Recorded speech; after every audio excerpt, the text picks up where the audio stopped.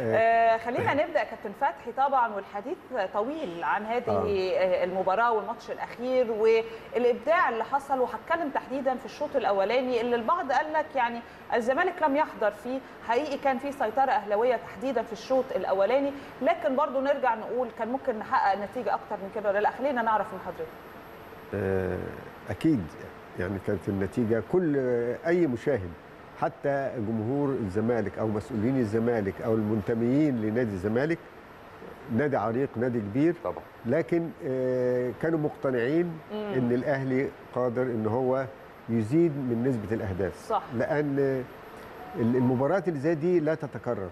يعني ما طبعاً. تتكررش كتير في طبعاً. ال- في الموسم أو في ال- ممكن تقعد سنين طويلة مش ممكن مجرد نقعد من يعني. 2002 إن- إن كام جول إحنا جبناهم ده من 2002 آه قبل طبعاً. 2002 يا كريم اللي ممكن أقول لكم مثلا إحنا جبنا دلوقتي آه، كام جول 8 جوال في المباراة آه تمام إجمالي محصله خمسة وثلاثة، الفرق. تمانية. لم تحدث طبعاً. من قبل لا هي حصلت قبل كده فين في برضه أهلي وزمالك 5 3 7 1 آه 7 1 الأهلي كان آه، وقت الكرة كانت متوقفة بس كان آه، بطولات الشباب هي اللي مستمرة بعد الحرب.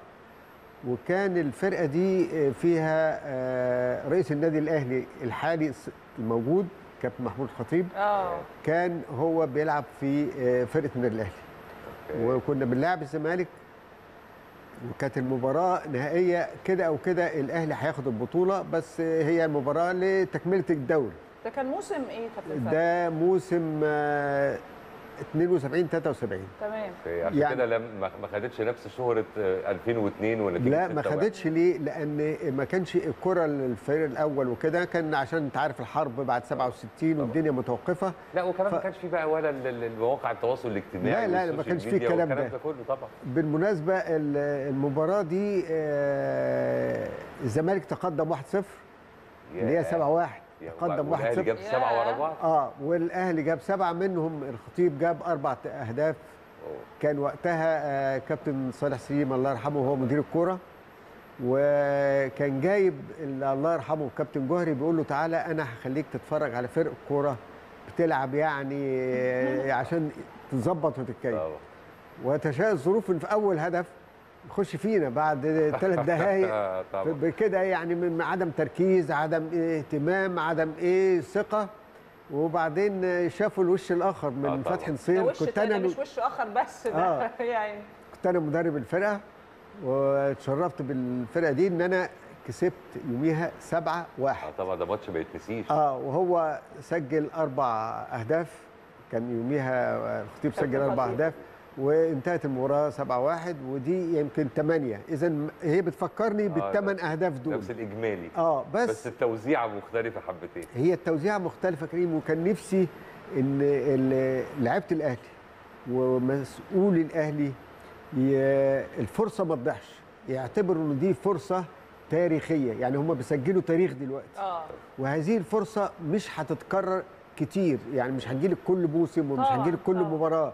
ظروف المباراة تساعدك إنك تزود نسبة الأهداف بأي طريقة هتزيد لو بعض الحاجات اللي اتعملت طبعا تغييرات. ما كانتش اتعملت يعني ما كانش زي تعمل. التغييرات حضرتك تقصد مثلا أنا ما لا ما اتدخلش في شغل ال- المدير مش عايز الفني نتكلم في تفاصيل لا لا آه. المدير الفني طبعا هو المسؤول وهو أضرب الفرقة وكده آه. لكن بإحساس الأهلاوي قبل ما يكون مسؤول فني قبل ما يكون مدرب قبل ما يكون محاضر قبل ما يكون مراقب قبل ما يكون محلل قبل الحاجات دي كلها من جوايا كان نفسي المباراة تستمر كما استمرت في الشوط الأول لا على أساس إنها آه، يعني تنتهي النهاية اللي كان ممكن أنا كنت متخيلها كنت متخيل أكتر من كده.